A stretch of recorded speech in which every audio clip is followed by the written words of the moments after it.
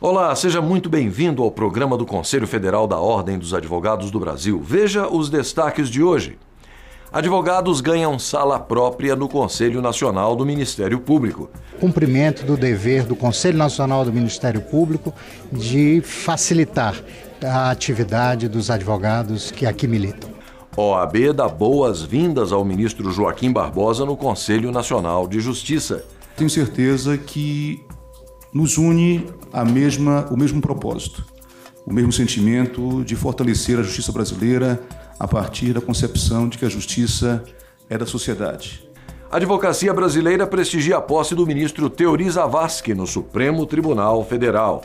Os advogados brasileiros têm no ministro Teori uma referência de competência, de seriedade eh, e de, de defensor da justiça que ele é. Presidente nacional da Ordem é homenageado por procuradores de Estado. Todos nós somos advogados e, como advogados, temos que ter é, direito à representação do AB no que diz respeito à defesa das nossas prerrogativas. E ele fez isso com um brilhantismo sem igual. E ainda, Conselho Federal publica os anais da 21ª Conferência Nacional dos Advogados. O que nós queremos é sedimentar todo o conhecimento jurídico, todo o debate científico que tivemos, transformando aquelas palestras num texto escrito. Você vê tudo isso e muito mais a partir de agora, aqui no programa OAB Nacional.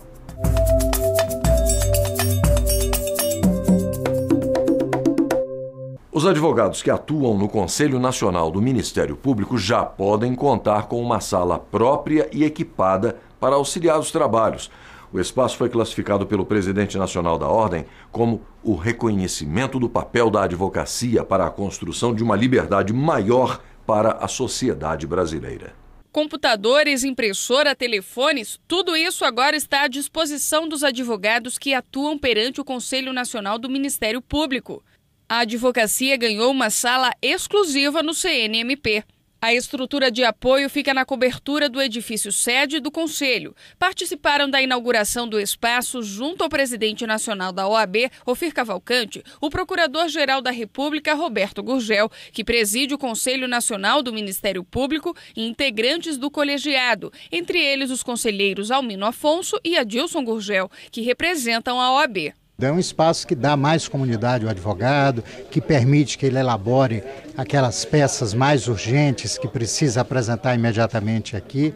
Enfim, ele passa a ter melhores condições de trabalho. É, o, como disse, o cumprimento do dever do Conselho Nacional do Ministério Público de facilitar a atividade dos advogados que aqui militam. Esse espaço é um espaço muito importante, é um espaço singelo, onde nós temos aqui alguns computadores, fax, impressora, com o objetivo de ajudar o advogado na sua tarefa diária, na sua faina diária de defender o cidadão. Quando nós fizemos essa proposição, fizemos em nome da advocacia brasileira, entendendo que há uma imposição legal não só do Estatuto da Ordem, mas de todo o ordenamento que disciplina o funcionamento das instituições judiciais e administrativas, com o objetivo de assegurar que os advogados militantes, mesmo num tribunal administrativo, possa se utilizar dos computadores, de livros, para fazer petições que comumente não consegue fazer no seu estado de origem ou até mesmo no seu escritório.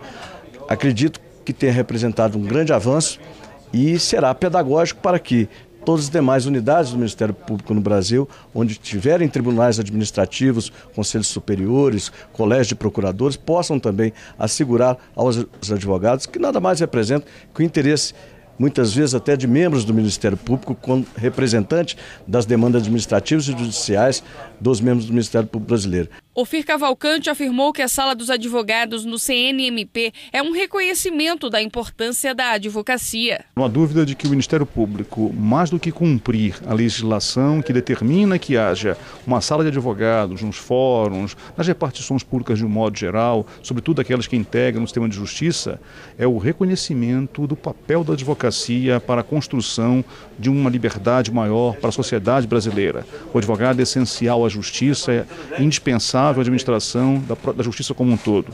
E a sua inserção no sistema de justiça é, é reconhecida neste momento mais uma vez, pelo Ministério Público Federal, através do Procurador-Geral da República, Roberto Gurgel, presidente do CNMP, que concede esse espaço para que nós possamos cada vez mais defender os nossos constituintes. Ao entregarmos a sala do advogado no Conselho Nacional do Ministério Público, cumprimos o dever é, previsto na legislação de oferecer um espaço adequado aos advogados que oficiam, que exercem a sua missão aqui no Conselho Nacional do Ministério Público. E, como disse, é mais um momento em que se homenageia a advocacia brasileira e a Ordem dos Advogados do Brasil, essa instituição uh, de importância tão essencial eh, para a democracia e para a República no Brasil. Para o conselheiro Almino Afonso, a sala do advogado tem um significado importante. Uma grande conquista e representa uma simbologia muito grande para o Ministério Público Brasileiro, para o Poder Judiciário Brasileiro, uma vez que a advocacia é o gênero desta grande atividade jurídica e jurisdicional, não só pelo papel de fiscalizar as funções do Poder Judiciário, mas, sobretudo, contribuir para o aperfeiçoamento do Poder Judiciário. Eu costumo dizer que a advocacia representa o gênero, do qual deriva todas as demais atividades jurídicas. Os membros do Ministério Público, os membros da magistratura, os procuradores, os advogados públicos, os advogados privados, todos derivam da espécie, são, são espécie desse gênero advogado. Portanto, aqueles que não foram advogados antes de ingressarem nas demais carreiras jurídicas, por certo, serão logo após lograrem suas aposentadorias. E terão aqui no Conselho Nacional, como já existe em uma série de tribunais superiores e muitos fóruns, um espaço reservado para que ele possa desempenhar seus trabalhos de expediente a contento, que possa bem servir o destinatário principal de todos nós, que é a sociedade, o cidadão que postula junto às instituições públicas é, o atendimento às suas demandas. A Ordem dos Advogados do Brasil foi convidada pela CPI do tráfico de pessoas para debater a respeito do assunto no Congresso Nacional. A intenção é colher sugestões junto à OAB para elaborar uma nova legislação destinada a coibir crimes relacionados ao envio ilegal de pessoas ao exterior, principalmente mulheres para fins de exploração sexual e crianças para serem adotadas por estrangeiros. O presidente da CPI do tráfico de pessoas, deputado federal Arnaldo Jordi, expôs para o presidente nacional da OAB o atual cenário do tráfico de pessoas. Esse crime é um crime praticado no mundo e movimenta algo em torno de 35 bilhões de dólares por ano, envolvendo 3 milhões de pessoas de vítimas, e o Brasil provavelmente está entre os seis países que mais consomem esse tipo de crime. Então, a CPI primeiro diagnosticou qual era o marco legal que pode enfrentar essa situação criminosa, porque é um crime que está disfarçado em outras tipificações, nas listas de desaparecimentos, no tráfico de, na, na exploração sexual de seres humanos e outras eh, situações mais contemporâneas, a questão dos, das agências de modelo, das escolinhas de futebol, que já tem registro de pessoas traficadas a partir desta, desta situação. O parlamentar explicou que a CPI está na fase das oitivas e agora o apoio da Ordem dos Advogados do Brasil vai ser fundamental em cada estado. Agora nós estamos vivendo a situação das oitivas, das diligências nos estados para ver de perto como é que essas redes criminosas se organizam, quer ser, quer seja no tráfico para fins de exploração sexual, o mercado ilegal de adoções, o mercado ilegal de, de tráfico de órgãos também, que já há registro nesse sentido. É, e viemos aqui pedir a participação da OAB, que tem sido uma parceira nessas lutas, não é, pela o aperfeiçoamento democrático e da, dos interesses das lutas por, por, por direitos de cidadania no Brasil, pedir aqui ao seu presidente, o nosso amigo Ofir Cavalcante, para que ele possa ter, colocar a OAB acompanhando. Para nós é um é um gesto de prestígio ter a OAB participando desses, das audiências que vamos fazer nos estados e também pedindo a contribuição da Ordem dos Advogados no Brasil para a formatação desse novo marco legal que vai dar suporte, que a CPI deve apresentar ao Congresso Nacional uma nova legislação que possa ser contemporânea ao fortalecimento desta rede de enfrentamento do tráfico de pessoas, já visto que a nossa legislação é uma legislação bastante obsoleta, bastante defasada em relação a essas previsões de crimes que é, o nosso Código Penal, o nosso Código de Processo Penal, a Lei das Migrações, a Lei, o Estatuto do Estrangeiro, é, estão muito defasados em relação a esses fenômenos que são muito contemporâneos no Brasil. O presidente da ordem se comprometeu a designar juristas especializados no assunto para melhorar a legislação e torná-la mais eficaz no enfrentamento do tráfico de pessoas. Questão que preocupa a toda a sociedade brasileira, o tráfico de pessoas humanas.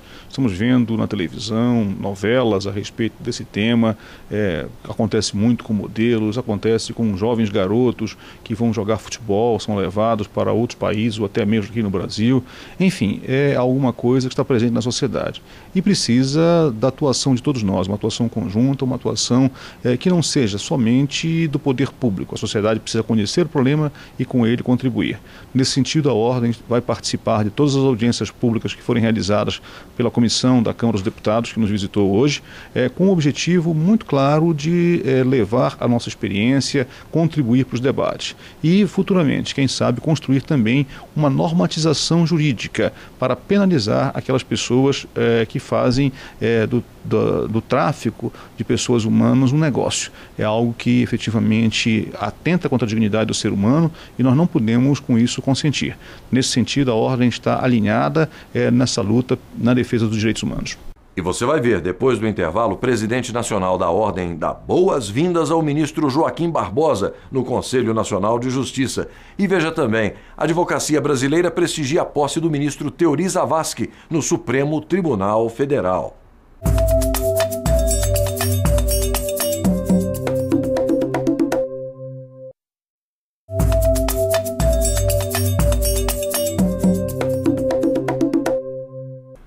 Conselho Nacional de Justiça teve sua primeira sessão sob novo comando. Ao saudar o ministro Joaquim Barbosa em nome dos advogados brasileiros, o presidente nacional da OAB destacou que fortalecer a justiça a partir da concepção de que ela pertence à sociedade é o propósito que une o CNJ e a advocacia. A primeira sessão do Conselho Nacional de Justiça, tendo o ministro Joaquim Barbosa como presidente, foi de boas-vindas, a começar pelo corregedor do CNJ, ministro Francisco Falcão. Não tenho dúvidas do sucesso da condução firme e serena que Vossa Excelência vai imprimir a este Conselho Nacional de Justiça. Vossa Excelência, abro aspas, conhece as virtudes que devem ser reclamadas aos magistrados formação moral imbatível, independência, cultura, preparo profissional, dedicação aos deveres do cargo, porque, como visto, as possui suntuariamente. Seja bem-vindo, presidente Joaquim Barbosa, ao Conselho Nacional de Justiça. Ofir Cavalcante, presidente nacional da OAB e que integra o CNJ com direito a assento e voz, falou da convivência com quatro presidentes. Bem poucos tiveram o privilégio de funcionar neste conselho com quatro presidentes, como eu tive a oportunidade de fazê-lo. Assim que assumi, estava no final do mandato do ministro Gilmar Mendes. Em seguida, dois anos do ministro Peluso, e sete meses e alguma coisa do ministro Aires Brito. Agora, Deus me reservou essa possibilidade de aprender um pouco mais aqui nesse conselho sobre a presidência de Vossa Excelência. Ofir saudou Joaquim Barbosa com uma palavra sobre o fortalecimento da justiça. Tenho certeza que nos une a mesma, o mesmo propósito, o mesmo sentimento de fortalecer a justiça brasileira a partir da concepção de que a justiça é da sociedade e que o poder, a autonomia do Poder Judiciário deve ser sempre exercida é, não para o fortalecimento interno, mas, sobretudo, para é, o fortalecimento do cidadão é, a partir da, da, prestação jurisdicional célere é, e ética que todos, todos devem prestar. Portanto, é, saúdo Vossa Excelência dos advogados brasileiros e a outros advogados do Brasil. Como disse no meu discurso é, no Supremo Tribunal Federal, está, é, estará de mãos dadas no sentido de fazer é, a justiça cada vez mais forte. Agradeço Vossa Excelência e a, aos dois outros que se pronunciaram, e como ao colegiado, pela generosidade das palavras endereçadas a mim. E já na primeira sessão conduzida pelo ministro Joaquim Barbosa, o Conselho Nacional de Justiça reafirmou que é obrigatório que o magistrado more na comarca em que atua. As autorizações para que juízes residam em outras comarcas são excepcionais e devem ser regulamentadas pelos tribunais de forma fundamentada. A decisão foi tomada por unanimidade pelos conselheiros do CNJ em resposta à consulta formulada pela Associação dos Magistrados de Alagoas. O ministro Teori Zavascki é o mais novo integrante do Supremo Tribunal Federal. Ele ocupou a vaga deixada por César Peluso, que se aposentou na mais alta corte do país, que passa agora a contar com 10 ministros de um total de 11 vagas. A cerimônia de posse foi conduzida pelo presidente do Supremo Tribunal Federal, ministro Joaquim Barbosa. Na presença de diversas autoridades, o ministro Teori Zavascki prestou o compromisso de posse. Prometo bem e fielmente cumprir os deveres do cargo de ministro do Supremo Tribunal Federal, em conformidade com a Constituição e as leis da República. Entre os participantes da cerimônia estiveram o presidente do Senado, José Sarney, da Câmara, Marco Maia, e o ministro da Justiça, José Eduardo Cardoso, o presidente nacional da Ordem dos Advogados do Brasil, que também prestigiou a solenidade, declarou que o ministro Teori Zavascki está preparado para exercer o cargo na Corte Suprema do país. A chegada do ministro Teori ao STF engrandece a nossa Suprema Corte. Ah, o currículo do ministro Teori é, lhe confere toda a credibilidade, toda a condição técnica dentro dos pressupostos constitucionais para exercer esse mandato, é, como sempre fez na sua vida, com seriedade, com serenidade, com muita sabedoria. A Suprema Corte se enriquece com a sua chegada e os advogados brasileiros têm no ministro Teori uma referência de competência, de seriedade é, e de, de, defensor da justiça que ele é. Portanto, a a sociedade brasileira está ganhando com tudo isso. Dias antes de tomar posse como ministro do Supremo Tribunal Federal, Teori Zavascki concedeu uma entrevista coletiva no Superior Tribunal de Justiça e afirmou que não vai participar da fase final do julgamento do mensalão. A participação de um juiz eh, do Supremo Tribunal Federal nos processos que estão sendo julgados eh, está definido no regimento interno do Supremo Tribunal Federal.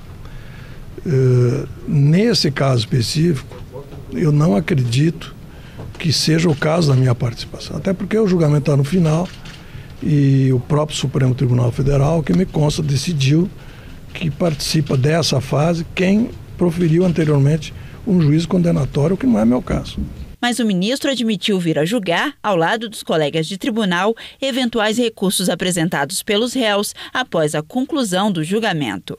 Eu vou participar, provavelmente, se houver recursos futuros. Eu não posso dizer se eu estou preparado ou não estou preparado, porque eu não conheço o processo. Se não estiver preparado, me prepararei. Teori Zavascki também falou sobre outros temas, dentre eles a independência do juiz em relação à vontade popular. O papel do juiz é fazer juízo sobre a legitimidade dos atos em face de normas. Se nós fôssemos hoje, em determinadas circunstâncias, julgar não conforme a lei, mas segundo a vontade popular, nós não teríamos condição de aplicar muitas leis eh, por exemplo, em matéria penal. Mas, às vezes, eh, para aplicar a lei, eh, não se escapa da impopularidade. Por isso que a Constituição assegura aos juízes a prerrogativa de ser vitalício, de, ser inamovível. Essas garantias são garantias da, da instituição. Natural de Santa Catarina, Teori Zavascki é mestre e doutor em Direito Processual Civil. Foi advogado do Banco Central e integrou o Tribunal Regional Federal da Quarta Região, além do Tribunal Regional Eleitoral do Rio Grande do Sul. Em 2003, foi nomeado ministro do Superior Tribunal de Justiça. Nós vamos fazer uma breve pausa para o intervalo, mas a seguir você confere OAB participa da divulgação dos vencedores do Prêmio Nacional de Educação Fiscal 2012. E ainda, livro Perícias em Arbitragem é lançado na sede do Conselho Federal da Ordem. É no próximo bloco. Até já.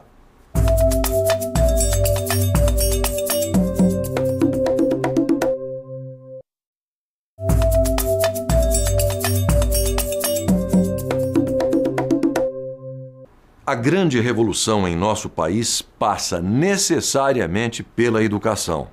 A afirmação foi feita pelo presidente nacional da Ordem durante a cerimônia de entrega de certificados aos autores dos trabalhos vencedores do Prêmio Nacional de Educação Fiscal 2012.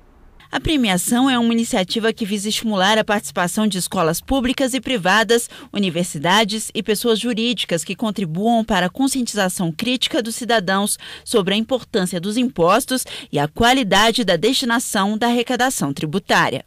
Esse prêmio ele busca justamente nós termos a conscientização da importância social do tributo. E nós não vamos ter um país grande sem educação, mas também com a consciência que eu tenho que pagar o meu imposto. E eu tenho, não tenho dúvida, pagando corretamente, eu vou cobrar a correta aplicação. O FIR Cavalcante fez a entrega do troféu a um dos três principais ganhadores do prêmio, selecionados entre 218 participantes. O Observatório Social de Maringá, no Paraná, ganhador do segundo lugar, se destacou com um trabalho que busca sensibilizar a comunidade para a responsabilidade e a ética no trato com o tributo e o gasto público. Ao entregar o prêmio, o presidente nacional da OAB destacou a importância da educação como elemento transformador da realidade política e social de um país e fundamental na democratização da sociedade. Nós somos uma democracia que ainda está na sua infância, uma democracia que está amadurecendo a cada dia. As nossas instituições estão cada vez mais fortes, mas para isso nós precisamos, presidente Kupiski, de educação. Precisamos de referências, de estímulos, de incentivos como esse. Eu tenho certeza que esse é um passo. Um passo que é apoiado por várias entidades. É certo que mudar paradigmas, mudar a educação, leva um tempo.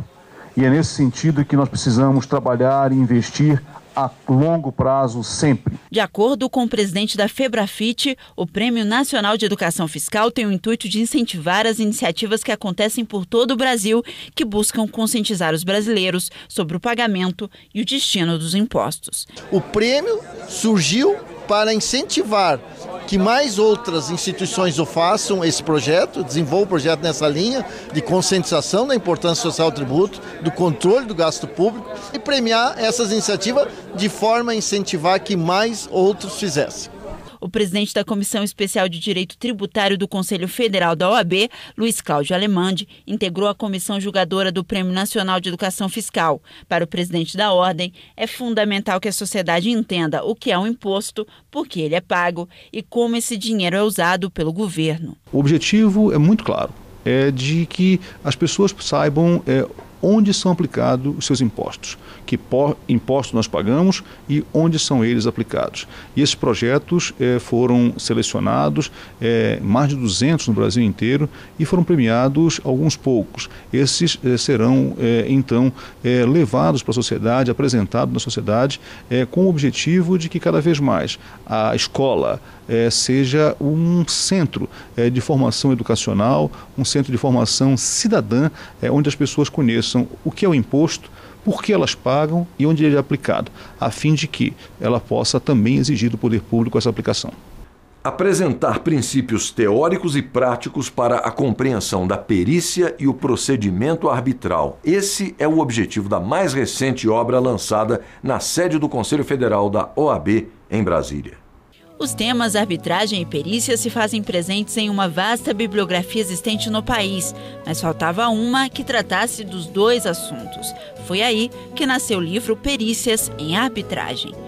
Esse livro ele procurou é, consolidar conceitos referentes às perícias perícias técnicas, naquelas arbitragens que envolvem matérias técnicas que precisam ser enfrentadas pelos árbitros. Os coordenadores estabeleceram uma linha mestra.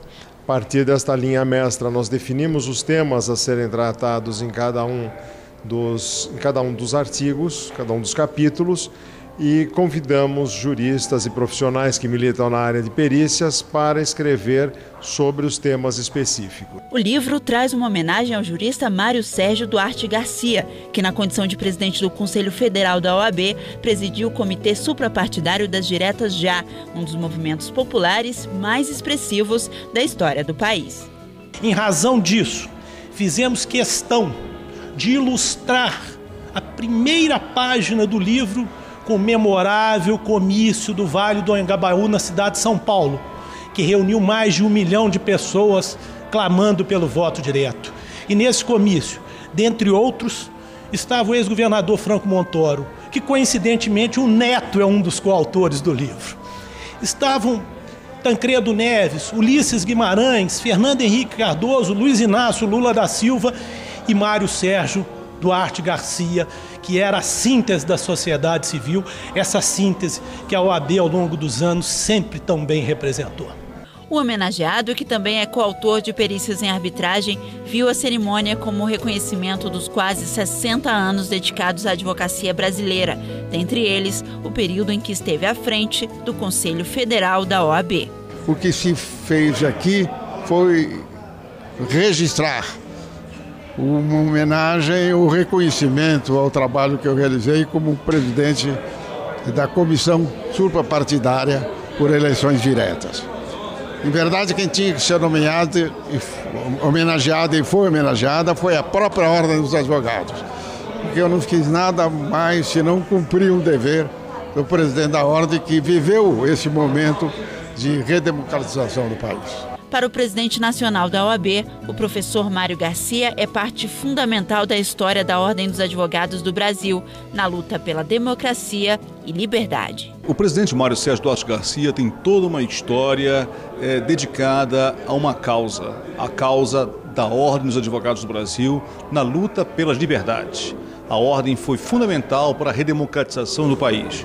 O presidente Mário Sérgio Duarte Garcia presidiu o Comitê Suprapartidário pelas Diretas Já, que foi um movimento nunca antes visto no nosso país, cívico, um movimento de paz, em que as pessoas iam para as ruas dizer que queriam eleições diretas para presidente da República.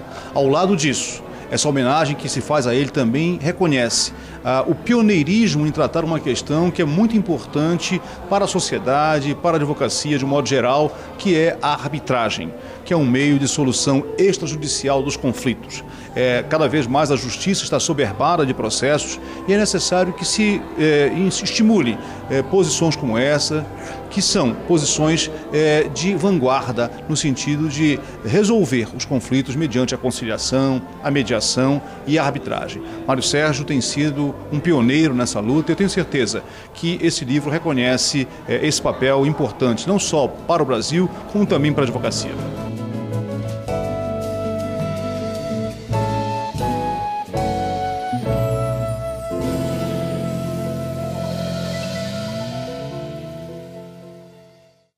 Daqui a pouco, depois do intervalo, o presidente nacional da Ordem é homenageado por procuradores de Estado. E mais, Conselho Federal publica os anais da 21ª Conferência Nacional dos Advogados. Você não pode perder. Nós voltamos em instantes.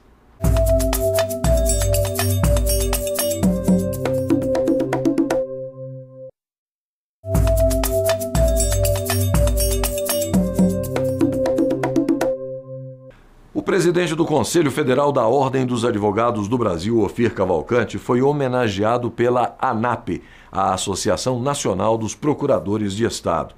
A homenagem foi prestada em agradecimento pelo trabalho desenvolvido em defesa da valorização, da independência técnica e das prerrogativas da advocacia pública.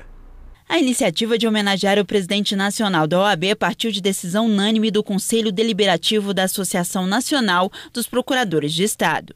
Ao entregar uma placa de agradecimento ao FIR Cavalcante pelo trabalho em defesa da valorização, independência técnica e de todas as prerrogativas dos advogados públicos, o presidente da ANAP destacou que a atual diretoria do Conselho Federal da OAB acolheu a todos os anseios e reivindicações da classe. Houve acolhida de imediato e de pronto em relação às diretrizes da advocacia pública, né, que nós estamos classificando e denominando de decálogo da advocacia pública, é, que foi encaminhado prontamente para esses seccionais por uma ação, uma iniciativa da Comissão Nacional da Advocacia Pública, tudo que tem de importante, de fundamento é, para proteção e defesa das prerrogativas do Procurador do Estado e da autonomia funcional das procuradorias está ali. Eu acho que isso resume um pouco a, a pauta de atuação da atual diretoria do Conselho Federal, que nos tratou e nos acolheu é, nesses últimos três anos,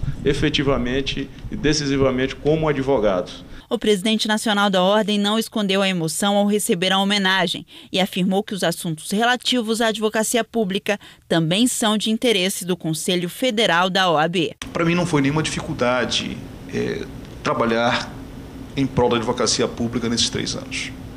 Eu sempre tive a convicção de que a Ordem dos Advogados do Brasil precisa, necessita, para ela é imprescindível a participação efetiva do advogado público.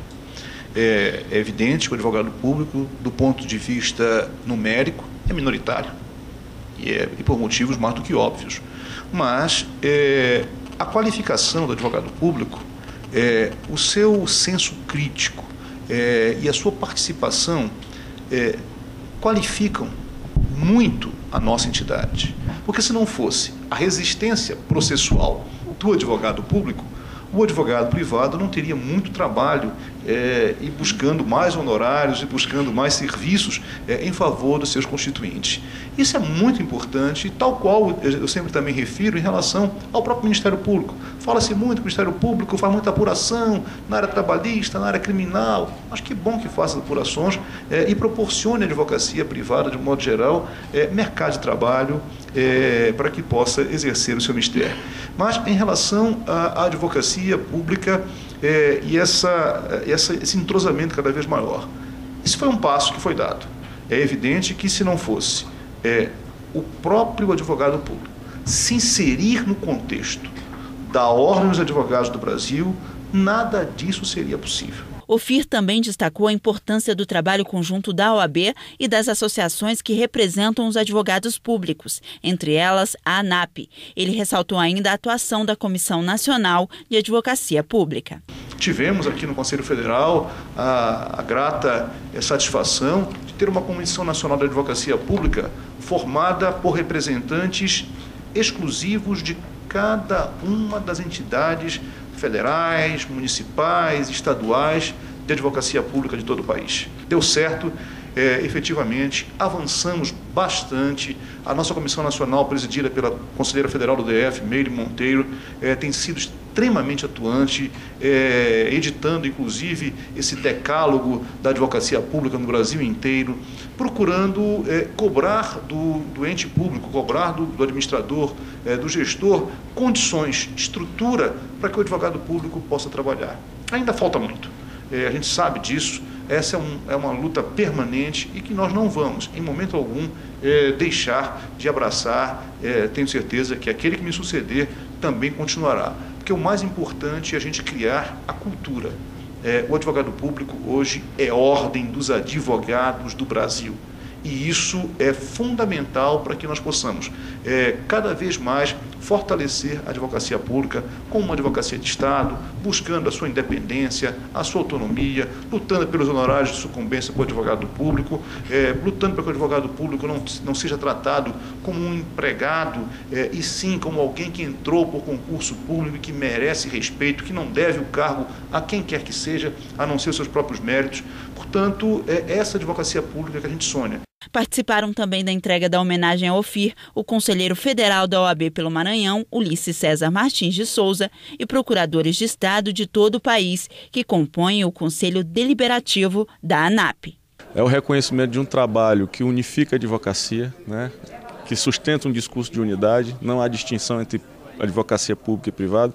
Todos nós somos advogados e, como advogados, temos que ter é, direito à representação do OAB no que diz respeito à defesa das nossas prerrogativas. E ele fez isso com um brilhantismo sem igual e ainda traz com ele o orgulho de ser um procurador do Estado que atuou com tanta eficiência, com tanta competência na nossa representação nacional.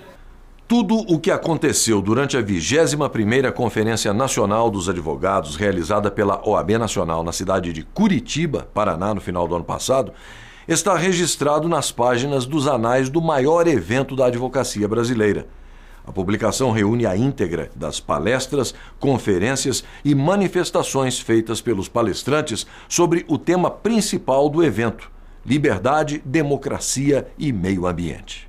Para o vice-presidente do Conselho Federal da OAB, a 21ª Conferência Nacional dos Advogados com o tema Liberdade, Democracia e Meio Ambiente ficou marcada na história pela grandiosidade do evento. A 21ª foi a maior de todas as conferências nacionais da Ordem dos Advogados do Brasil, tanto em número de advogados inscritos, ultrapassamos 7 mil advogados, como em número de palestrantes, em número de temas eh, que foram tratados na conferência, enfim, foi um mega evento. Eh, e o que surpreendeu, talvez, a todos nós foi que, apesar deste tamanho, a conferência não teve um único incidente.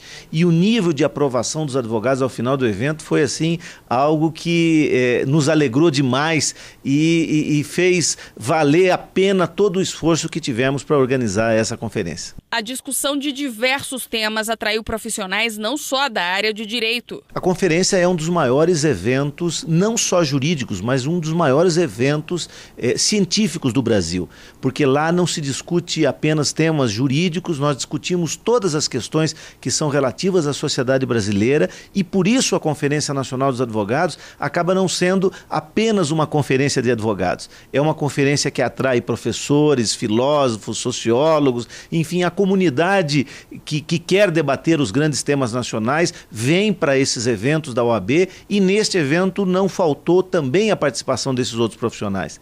E nós procuramos também rechear a, conferência com outras atividades para que não ficássemos é, com temas muito técnicos apenas. Então, atividades culturais é, plenas, atividades culturais, conversas com escritores, com músicos, shows artísticos. Então, foi de fato uma conferência conferência que demonstrou a vida da advocacia, demonstrou o vigor da advocacia brasileira, é, deu, deu satisfação para todos nós, ao final, é, saber que alcançamos a meta, que era de fazer a maior de todas as conferências. E tudo o que aconteceu em novembro do ano passado em Curitiba, no Paraná, está registrado em anais. Os exemplares foram distribuídos para os 81 conselheiros federais, os membros honorários vitalícios da OAB e os dirigentes das seccionais. Esses anais eles têm uma, uma abrangência muito maior do que isso. Os anais eh, são destinados a todas as bibliotecas jurídicas do país, às faculdades de direito, aos membros da OAB, eh, com acesso aos participantes da conferência conferência, é, de modo que com isso o que nós queremos é sedimentar todo o conhecimento jurídico, todo o debate científico que tivemos, transformando aquelas palestras num texto escrito. Então, o objetivo da, dos anais, que já é uma tradição da OAB editar os anais a cada conferência, é consolidar o que se discutiu naquele momento do Brasil numa Conferência Nacional dos Advogados. Se nós formos pesquisar hoje na história, nós vamos resgatar, por exemplo, em uma Conferência Nacional, debate sobre as liberdades, as cinco, e por que e onde está tudo isso? dentro desses livros, desses anais, de modo que o registro histórico para nós é muito importante. Por isso que nós, eh, de novo, estamos editando os anais impressos que estão sendo distribuídos a partir de agora.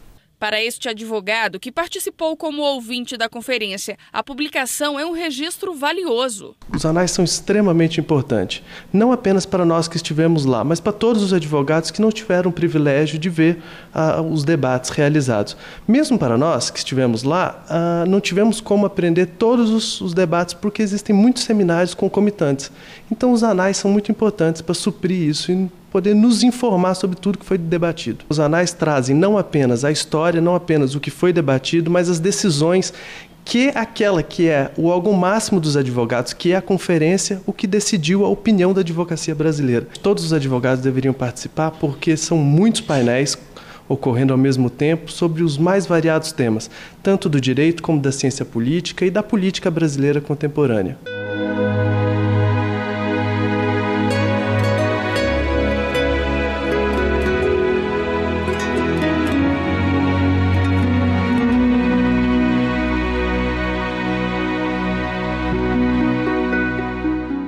Hoje nós ficamos por aqui, mas na semana que vem estaremos de volta com mais um programa OAB Nacional. Um abraço a todos e até o nosso próximo encontro.